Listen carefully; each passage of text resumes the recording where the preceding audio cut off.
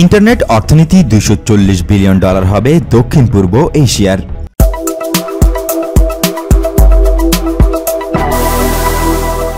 দক্ষিণ পূর্ব এশিয়ার ইন্টারনেট অর্থনীতি দুহাজার পঁচিশ সাল নাগাদ দুশো বিলিয়ন মার্কিন ডলার অতিক্রম করবে।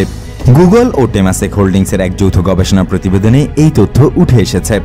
এতে বলা হয়, স্মার্টফোন ক্রমান্বয়ে সহজলভ্য হওয়ায় প্রতি বছরই ইন্টারনেট প্রবেশ বাড়ছে বিশ্বজুড়ে। ইন্টারনেট অর্থনীতি নিয়ে প্রতিষ্ঠান দুটি প্রথম গবেষণা প্রতিবেদন প্রকাশ করে দু হাজার ষোলো সালে, যাতে অন্তর্ভুক্ত ছিল ride hailing e commerce online travel ও অনলাইন মিডিয়া।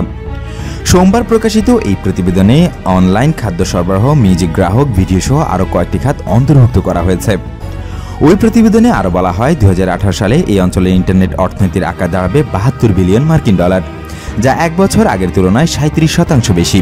এর মধ্যে ই কমার্সে কেনাবেচা তেইশ বিলিয়ন ডলার ছাড়াবে এই বছর। দু হাজার পঁচিশ সাল নাগাদ এর আকার চার গুণ বেড়ে একশো বিলিয়ন ডলার অতিক্রম করবে। কারণ এই খাতে ভোক্তা আস্থা ক্রমান্বয়ে বাড়ছে। প্রতিবেদনে বলা হয় এই বছর রাইড হেইলিং খাতের অর্থনীতি দাঁড়াবে সাত দশমিক সাত বিলিয়ন মার্কিন ডলার। অনলাইন খাদ্য সরবরাহ এর অন্তর্ভুক্ত থাকবে। গুগল টেমাস্কের গবেষণা বলা হয় গোজেক ও গ্র্যাব দক্ষিণ পূর্ব এশিয়ার প্রতিদিনের অ্যাপে পরিণত হয়েছে। দু হাজার পঁচিশ সাল নাগাদ এই খাত হবে ত্রিশ বিলিয়ন ডলার। প্রতিবেদনে আরও বলা হয়, দুই হাজার পঁচিশ সাল নাগাদ এই অঞ্চলের সবচেয়ে বড় দেশ ইন্দোনেশিয়ার ইন্টারনেট অর্থনীতি হবে একশো বিলিয়ন ডলার। এই অঞ্চলে অনলাইন ভিত্তিক প্রতি দশ ডলার ব্যয় চার ডলার হচ্ছে ইন্দোনেশিয়ায়।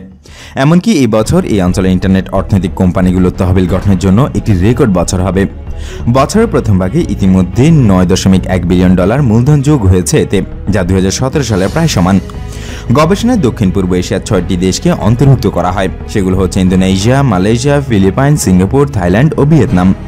ইন্টারনেট অর্থনীতিতে নব্বই শতাংশ গ্রাহকই সংযুক্ততার স্মার্টফোনের মাধ্যমে। প্রতিবেদনে বলা হয়, স্মার্টফোন সহজলভ্য হওয়ার পাশাপাশি টেলিকম সেবা বাড়ায় বিশ্বজুড়ে ইন্টারনেট ব্যবহারকারীর সংখ্যা দিন দিন বাড়ছে। যদিও এই তালিকায় নাম রাখা হয়নি দক্ষিণ এশিয়ার কোনো দেশের।